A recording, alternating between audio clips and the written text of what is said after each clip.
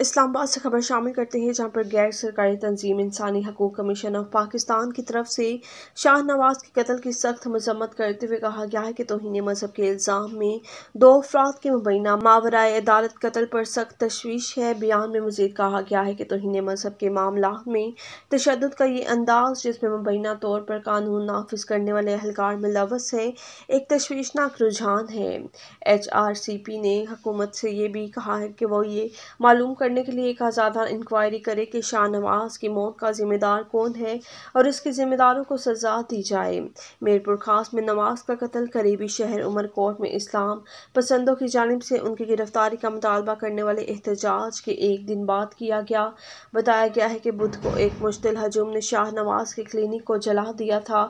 تازہ ترین ہلاکت کا یہ واقعہ کوئٹہ میں ایک پولیس اسٹیشن کے اندر ایک پولیس افسر کی جانب سے مبینہ طور پر توہین مذہب کے الزام میں گرفتار گرفتار ایک مشتبہ شخص عبدالعلی کو فائرنگ کر کے ہلاک کرنے کے واقعے کی ایک ہفتے بعد ہوئی ہے۔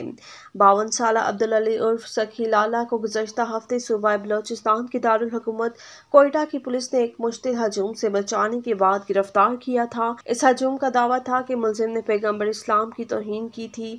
بعد میں عبدالعلی کو ایک پولیس افسر سید محمد سرحدی نے دوران حراست فائرنگ کر کے مار ڈالا۔